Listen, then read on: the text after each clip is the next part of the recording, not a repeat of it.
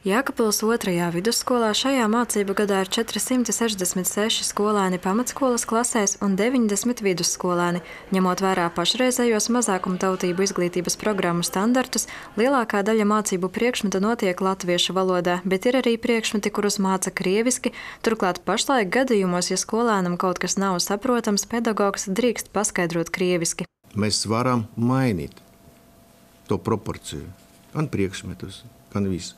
Un te ir pats galvenais. Tā ir individuāla pieeja. Man divas programmas - vispār izglītojuša un matemātikas un dabas zinības. Un vienā programmā mēs mācām matemātiku, fiziku, bioloģiju, latviešu valodu. Vispār izglītojuša. Man kombinācija, es zinu, ka tur bērni nav tik apdevināti, fizika notiek krievu valodā, cits priekšmetis latviešu. Tāpēc es varu nu, pielāgot savus skolniekus tā, lai pats galvenais, kas ir mums, ir, tas ir izglītības kvalitāte. Pats galvenais ir iemācīt. Ja es iemācīšu, tad neviens neprasīs, kādā valodā tu mācīsi krievu, angļu, latviešu, jeb ķīnu. Tu cilvēks, kurš zina. Skolas direktors uzsver, ka iespēja mācību procesā izmantot trīs valodas - latviešu, krievu un angļu - mūsdienās ir ļoti noderīga. Turklāt tas netraucē audzēkņiem gūt labus rezultātus eksāmenos, kas ir tieši tādi paši kā latviešu skolās. Tādēļ Izglītības un zinātnes ministrijas ieceri pāriet uz mācībām tikai valsts valodā Aleksandrs Dēnis vērtē negatīvi. Matemātika skola 44% apgūves koeficients valstī 34. Latviešu valodā skola 46%, valstī 50%.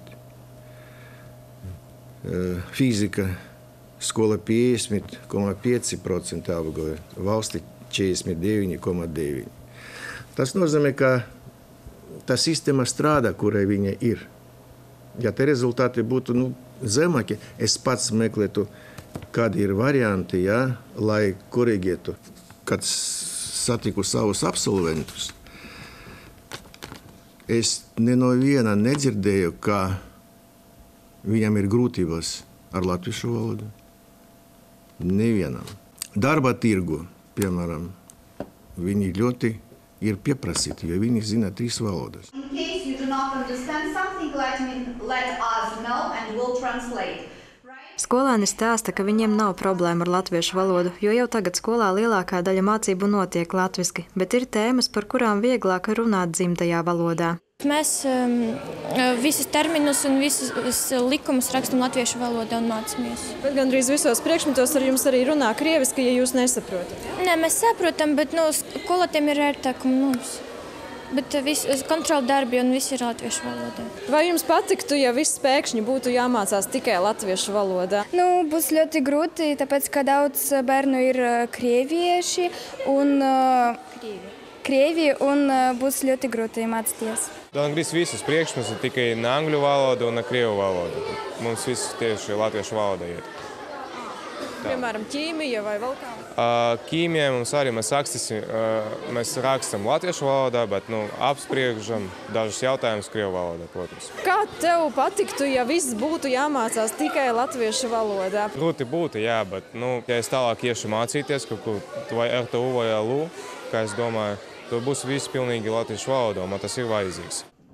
Atgādinām, ka Izglītības un zinātnes ministrs Kārlis Šadurskis rosina 2020. un 2021. mācību gadā pāriet uz sistēmu, ka visi vispār izglītojošie mācību priekšmeti, izņemot mazākumtautību valodu un literatūru, kā arī ar kultūru un vēsturi saistītus priekšmetus, tiek mācīti tikai valsts valodā.